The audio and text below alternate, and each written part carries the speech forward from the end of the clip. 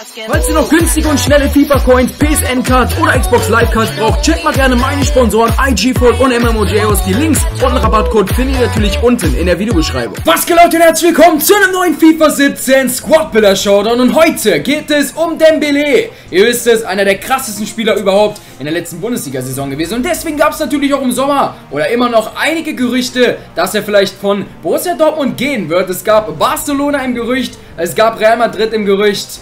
Bro, was meinst du? Max ist auch dabei. Wird Jo. Dembele gehen oder wird er bleiben? Was meinst du?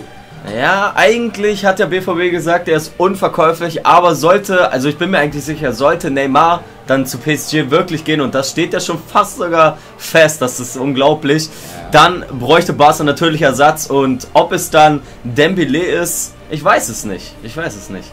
Ja, man, man weiß es nie, Leute. Schreibt einfach mal Hashtag Ja oder Hashtag Nein in die Kommentare, ob ihr meint, wird Dembele gehen von Dortmund. Wie gesagt, Ja oder Nein. Und lasst natürlich auch gerne ein Like da, wenn euch das Video gefällt. Und natürlich auch ein Abo. Und dann wissen wir, dass wir ja sowas nochmal machen können. Und ich bin Ja. gespannt, Mann. Du hast schon recht, ihr wisst es. Man weiß nie, man. Mal ganz ehrlich, man weiß wirklich nie. es Ja, wird immer gesagt, allem- der und der wechselt nicht. Dann wird gesagt, er wechselt doch. Und im Endeffekt wechselt er nicht. Manchmal wird gesagt, er wechselt auf keinen Fall. Und dann wechselt er doch im Endeffekt. Im Fußball, du Ist weißt selber, ist alles möglich, ne? Ja, vor allem heutzutage mit den ganzen Summen, da dreht man noch einen durch, Alter. Okay, wollen Ist wir... ehrlich so. Na okay, was soll's. Scheiß drauf. Also, wir starten direkt. Bist du bereit? Jo, ich Für die Formation. die Formation hoch und die müsstest du vielleicht haben, Digga. Eine Flügelformation ist ja safe. Okay, ich habe die 433, die vierte mit dem ZOM. Habe ich am Start. Okay. Ja, ich habe auch eine 4-3-3-Formation aufgeschrieben. Allerdings Und? die normale, die ganz normale. Scheiße. Ich kann dir sagen. Ja, ich habe bei dir auch eine Flügelformation, ist ja klar. ja. Und ich habe eine Allerdings- 4-3-3. 4, oh, Oh, ja, okay. Da hast du es schon. Ja, ich habe die 4-3-3, die dritte. Die dritte. Ja, 4, 3, 2, 1. Ja, okay, 4, 3, 3, die dritte. Ey, die ist doch. Hä, warte mal, ist doch fast dieselbe, oder nicht? Mit ZDM haben die. Ah ne, stimmt, mit ZDM. Mhm. Naja, okay, das heißt, wir dürfen beide die Formation behalten. Wir kommen, wir haben fast dieselbe Formation. Deswegen natürlich vorne zu den Stürmer, linker Flügel und Stürmer. Oha. Los geht's. Wir starten natürlich wie immer vorne im Sturm und du fängst an. Ich habe zwei Spieler bei dir gleich aufgeschrieben, die richtig krass sind. Ja, ich halt was mal. Ich halt mal hoch. Ich glaube ehrlich gesagt, dass da vielleicht einer sein könnte, den du jetzt im Team hast. Komm schon. Okay, ich habe im Sturm Ja. in Form Material von Manchester United die Stürmerversion. Richtig krasser Typ und auf dem linken Flügel habe ich wieder einen Brasil Brasilianer, sage ich schon, Franzosen aus der Bundesliga und zwar Franck Ribéry. Das ist mein Okay. Team. Heftige Franzosen vorne. Ich habe Ja, mal komplett Franzosen Sturm. auch einen aufgeschrieben, Anthony Modest. Sonst hast du den immer. Ich habe ihn jetzt immer. Okay, und links. Und links habe ich-. Auch einen aus der Bundesliga, Marco Reus. Ja, Mann, Ja, ich wusste es. Geil. Ah, okay, Ribéry, Ribéry ist so ein Spieler, Mann. Ich finde ihn eigentlich ganz fresh, muss man sagen, in. FIFA 17. Allerdings nimmt ihn fast niemand mit. Der hat nur 82 Tempo, das ist das Problem. Das der war noch stimmt, schneller. ne? Weißt du noch früher? Der Ja, hat ey, früher, er hat alles- Team of the Season Karte erinnern? Ey, er hat alles rasiert, Mann. Der Ribéry-Tanz. Nein, Spaß. Okay. Okay, komm, machen wir weiter. Was labern wir so lang? Deine Ja, ich weiß auch nicht. Ich fange jetzt mal an und habe ich mich für Franzosen entschieden? Das ist die Frage der Fragen. Es sind zwei Franzosen. Und zwar einmal Mbappé, Team of the Season. Und links außen habe ich dann noch einen Franzosen und zwar Lemar. Allerdings nicht als Team of the Season, sondern in Form. Fresh. Ah, heftiges Team. Ich hatte einen Franzosen aufgeschrieben und zwar Griezmann und Ah. Neymar. Mbappé, Junge, den hatten wir letztens auch auf meinem Kanal Ja. als möglicher Realtransfer. Bei dem weiß man auch nicht, ob der vielleicht wechseln wird. man Stimmt wird schon. erst am Endeffekt am 31. August, wenn die Wechselfrist zu Ende ist, wissen. Na egal, was soll's. Okay, wir dürfen alle behalten. Das heißt, ab geht's ins Mittelfeld. So, der Sturm steht, Freunde, und jetzt kommen wir ins Mittelfeld. Bei dir gibt es ja ein ZOM und ich bin gespannt, ob du es mir jetzt so offensichtlich gemacht hast. Ja, hau raus. Ey, wenn du schon sagst, okay, wenn du schon sagst offensichtlich, dann könntest du vielleicht den einen oder anderen haben. Wir fangen mal rechts an, da habe ich eine Footy-Karte und da könnte man eventuell drüber ko äh, drauf kommen. Allerdings Ja. ist es auch ein bisschen ja, unauffällig und zwar Renato Sanchez kam hier jetzt neu Okay. raus. Mal schauen, ob der einen Footy-Winner bekommt. Wenn er einen Footy-Winner bekommt, wird das echt eine frische Karte Das sein. wird ein richtiges Dann Biest. zentral. Ja, man, zentral offensiv ist es. Ah, das ist zu leicht wahrscheinlich. Und zwar Pogba. Und links daneben habe ich noch so einen Spieler, der relativ offensichtlich ist. Und zwar Team of the Season Kante. Ja, also ich sag mal so, ich habe drei Franzosen aufgeschrieben und ich habe auch einen Spieler getroffen. Also erstmal nicht Renato. Sanchez, weil ich ja drei Franzosen habe. Das war- Da habe ich Tolisso gedacht. Ja. Tolisso, den konnte ich nicht machen. Den konnte ich nicht machen. Nee.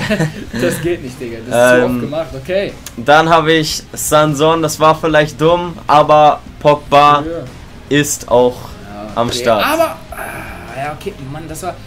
Ah, Das Ding ist eigentlich dumm von mir, weil ich hätte jeden Na. anderen Menu-Spieler auch da nehmen können, glaube ich, oder? Ja, eigentlich schon. Ich glaube schon, Ja, ja. doch, eigentlich schon. Ja, okay, dann, obwohl dann hätte ich Kanté. Ja, egal, was soll's. Okay, Pogba Okay. ist. Ist jetzt Ah, sogar auf nicht der so 10, geil. ne? Ich weiß nicht, okay, ob ich da ich kann jetzt ja, als Spielmacher. Ja, ja, komm, hau den Joker da einfach mal rein. Oh, Digga, dein Ernst. Oh mein Gott, Alter, du weißt selber, das ist komplett broke. Was Das ist immer broke. Aber wir schauen trotzdem, vielleicht, du weißt. Der hat einen Chemiepunkt. Oh mein Gott. Na okay, das heißt, wir kommen erstmal zu deinen Spielern. Ach ja, ich kann stimmt. dir sagen, ich habe auch, wo wir gerade bei Franzosen sind, zwei Ja. Franzosen aufgeschrieben, nicht drei wie du. Zwei habe ich aufgeschrieben. Okay, und ich habe auch einen Franzosen. So, wir fangen in der Mitte an und da habe ich mich für welche Liga entschieden? Für die La Liga. Und zwar ist da Isco als 91er Man of the Match am Start. Dann im ZDM, nicht schlecht. ja, dann im ZDM Iborra von Sevilla und daneben der einzige Franzose, ich glaube, den muss ich sogar, obwohl, den kann ich so einfach reinfügen, ein Sonsi. Team of the Season, wen hast du? Thiago Tolison Bakayoko. Ah, fresh, Ah, du darfst Alter. alle behalten. Ja, wieder. Ah, okay, es war gemacht. zu offensichtlich bei mir mit Pogba, aber. Na, okay. Ich hätte mir da was anderes einfallen lassen sollen. Na egal, kann man nichts machen. Ich muss noch kurz Renato Sanchez eine Verletzungskarte geben und dann kommen wir zu den Außenverteidigern. Und eigentlich erraten wir da ja immer die Spieler, du weißt es selber. Aber Eigentlich mal, schon. los geht's. Los geht's. Wir kommen zu den Außenverteidigern und ich Oh. würde sagen, ich fange an rechts. Ich fange an rechts, Fängst hast du schon hochgehalten? Ich halte jetzt hoch, man, komm schon. Das ist 50-50. Okay, ich hab. Na, Okay, ich hab rechts. Pisscheck, da kann. Ich weiß nicht, da könnte man jetzt. Obwohl, es, es geht, ich könnte eigentlich jeden Bundesliga-Rechtsverteidiger nehmen. ja. Aber naja, okay, und. Dann kommen wir zu meiner linken Seite und den habe ich noch nicht geholt. Den muss ich noch kurz holen, es sei denn, du hast ihn. Und zwar ist es ein Franzose, damit natürlich auch alle da auf Chemie kommen. Und zwar ist es Mordi. Der ist ja gewechselt zu Manchester City. Geiler Typ, geile Karte auf jeden Fall. Das ist Also, heftig. das ist der, das ist meine Verteidigung. Ja, jetzt kommt 50-50. Rechtsverteidiger habe ich Lahm. Und Linksverteidiger Klischee, Mann. Ey. Oh, ich wusste, ich kann ein Klischee mitnehmen, Mann. Das geht nicht. Ey, das ist das Geile jetzt. Mondi, da gibt es wieder ein bisschen Auswahl jetzt. Ey, aber ich habe gesehen, Klischee ist, glaube ich, gegangen von City. Der ist irgendwo Mm. in die Super League jetzt gewechselt. Das heißt, im Endeffekt gibt es nächstes Jahr wieder so wenig Auswahl. Na, Mann. Aber naja, okay. Ja, okay. Das heißt, ich darf beide behalten. Glück gehabt. zu deinen Spielern. Jetzt bin ich dran und soll ich einfach mal links anfangen hier mit der Spanier-Seite? Oder ist das vielleicht? Zwei Spanier aufgeschrieben. Du hast zwei Spanier. Und ich habe auch zwei Spanier. Ja, komm, komm, komm. Der erste Es ist. so. Ja, ich weiß. Nacho Monreal. Und jetzt als Rechtsverteidiger, habe ich ein bisschen Angst. Oh mein Gott, es ist. Juan Fran SBC. Ey, Mann. Ich hab Gaia und Montoya aufgeschrieben. Ja, okay. Mann, Ja, aber, fresh, okay. Ey, ich hatte so ein gutes Gefühl, wo du sagst zwei Spanier, aber das Ding ist, es gibt so viele Spanier Ja. Außenverteidiger. Na, Das okay. stimmt das auch. heißt, du hast bislang ein komplettes Team, aber ich habe auch erst einen, bislang ist noch okay. Das heißt, wir kommen zu den Innenverteidigern und natürlich zu dem Torhüter. Das Finale, die drei letzten Positionen. Und mal gucken, ob jetzt hier noch einer fallen wird. So. Ich hoffe nicht. Okay, bist du bereit? Ja, ey, komm schon, Mann. Eigentlich habe ich ein gutes Das Gefühl. Ding ist, ich brauche rechts, ne? Brauche ich ja noch einen Spieler von Bayern, glaube ich. Mhm. Oder Portugies. Ich weiß nicht, ob ein Portugiese reichen würde. Gibt es einen Portugiesen Innenverteidiger? Keine hab Ahnung. der Du hast bestimmt einen Bayern-Spieler. Ja, ich habe Martinez. Habe ich extra Martinez genommen, weil man den vielleicht nicht erwartet, weil Ja. er hat 53 Tempo. Links habe ich dann Team of the Season Aspilicueta. Boah. Und im Tor kann ich jetzt jeden Spanier nehmen. Und da habe ich mich für Inform Arsenio entschieden. Joa, also man muss sagen, die Verteidigung ist richtig stark. Vor allem Martinez ist gar nicht so schlecht, auch wenn er jetzt kein Ja, Tempo hat. der so langsam ist. Ich Ja. finde auch. Und ich habe Boateng, Zuma und Neuer aufgeschrieben. Ah, Junge, Zuma, wer, oh, ey, Zuma ist auch. Der ist auch voll OP eigentlich, ja. Ja, Mann. Aber der ist jetzt, der wurde, glaube ich, entweder ist bei gewechselt oder Stoke, glaube ich, ja. Ja, der wurde ausgeliehen. Ja, aber ja, Chelsea verleiht ja eh jeden zweiten Spieler, von daher Normal. ist das ja ganz normal. Weiter geht's mit deinen Spielern, das heißt, ich habe einen Bronzespieler. Naja, okay. Okay, geht schlimmer. Und jetzt hau ich meine Verteidiger raus. Ich sag mal so, es ist jetzt nicht so leicht. Aber einen könntest du haben. Es ist erstmal Alvaro in Form. Kennt man eigentlich nicht. Hat aber gute Stats. Ja, ich habe ihn auch schon mal gehabt. Okay. Und Pepe.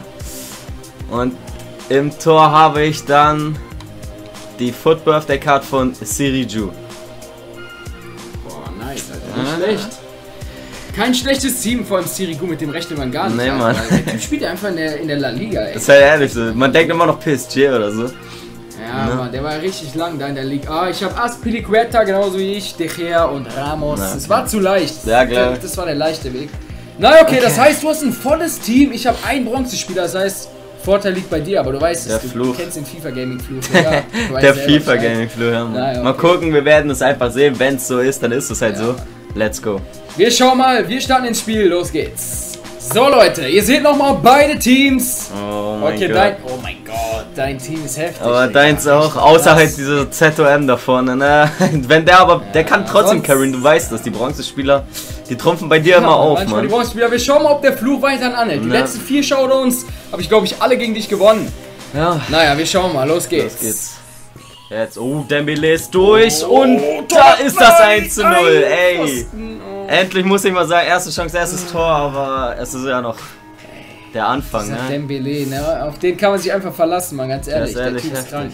Mal auf den Zonzi. Ah, das uh, Gott, ey. Ey Junge, das war so krass, Alter. Oh, Nein, Mbappé Aspilicueta, macht das nein. 2-0. So komm, ey. War es wieder Dembele? Ne, Mbappé, denke ich. Mbappé war es. Ja. Ey Junge, deine Franzosen da vorne. Das Ding ist, Aspilicueta hat einen Schritt zu spät daneben gehauen, Mann. Ey. Ja, versuch ich's direkt mit. Oh, Dembele. Junge, Junge, Junge, Junge. Boah, Ey, stell, das wäre so. FIFA, Digga, wenn er jetzt ins Tor gelaufen wäre. Oh. Nein, das war stark. Und Nein, Dembele macht das doch- 3-0, ja. Jungs. Yes, Mann. Ey, das gibt ja eine richtige Blamage hier. Kacke, Digga. Aber Dembele, da kann, den kann man nicht so stoppen, krass, ganz ehrlich. Das Und muss man einfach sagen. ja, so ein Lemar und so ein Mbappé vorne, Alter, diese Frankreich-Teams, ey. Frankreich allgemein OP. Oh. Mann, also der Fluch ist endlich vorbei, ey. Ja. 3 zu 0 gewonnen, das heißt, drei Spieler muss ich abstoßen, aber ich Dembele hatte war auch gar keine Chance eigentlich. einfach on fire, muss man sagen. Und ja, wenigstens ist, es jetzt, ist es jetzt einmal wieder so gewesen, dass ich gewonnen habe. Bin zufrieden. Ja, Mann, wir kommen zum Abstoßen. Wir kommen zum Abstoßen und ich habe irgendwie ein ungutes Gefühl, weil jedes Mal, wenn ich bislang Footy drin im Team hatte, musste ich den auch abstoßen. Ich habe, glaube ich, insgesamt jetzt schon drei oder drei Footies oder so abgestoßen, Mann. Ja. Deswegen, ich will nicht schon wieder einen abstoßen. Ich bin schon mal zufrieden, dass ich den Bann jetzt gebrochen habe und jetzt will ich zur Krönung natürlich noch einen richtig geilen Spieler treffen hier. Sag einfach Bescheid, Okay, ja, wenn du ready bist. Okay, okay, okay, warte, ich versuch's gerade ein bisschen clever aufzubauen. Ja, warte, was mache ich hier, Alter? Okay, warte, warte, ich bin gleich fertig. Chill kurz. So, okay, ich hab so. Naja, warte, chill kurz. Er ist richtig nervös, Alter. Komm. Junge, ich weiß nicht. Okay, so mache ich, so Ja. mache ich. Ich hab jetzt versucht, clever aufzubauen. Okay. Okay. Und du hast. Ja, Ja. hau erst mal raus. Ich muss ja jetzt eigentlich eintreffen und deswegen denke ich, ich nehme eine Reihe und zwar alle drei aus deinem Mittelfeld. Komm, hau die raus und wen habe ich? Okay, ich wusste es, ne? Deswegen, ich habe es extra so aufgebaut, weil ich wusste, du nimmst eine Dreierreihe. Und Ja. ich hatte die Stürmer-Dreierreihe oder die Mittelfeld-Dreierreihe. Und Allerdings habe ich mir gedacht, du gehst auf die Stürmer-Dreierreihe, deswegen hatte ich da die schlechteren Spieler. Im Mittelfeld Okay. hatte ich Arsenio in Form, na, da ist immer Martinez in Form und ein Bronzespieler, diesen Ah, Hope. den Hope. Hope ist es sogar.